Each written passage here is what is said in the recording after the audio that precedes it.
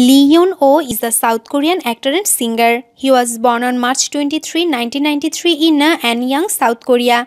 On February 19, 2018, Lee began his mandatory military service as an active duty soldier.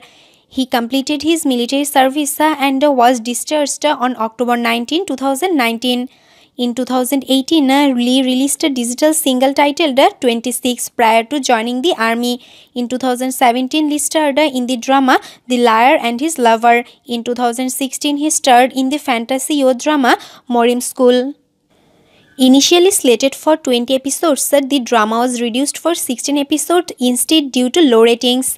Lee began his career as a child actor, building up his resume by playing roles in the number of large-scale productions such as The Legend, King Sejong the Great, uh, The Return of uh, Iljimae and uh, Queen Seondeok.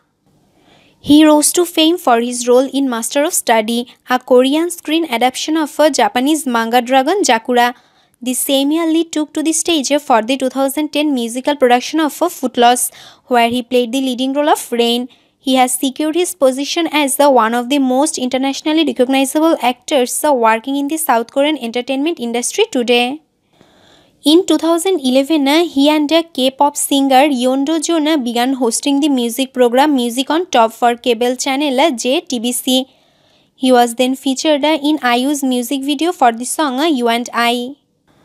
Lee further expanded his acting scope in historical drama Gyebaek revenge thriller from Man uh, the Equator and uh, made a guest appearance in medical drama Brain.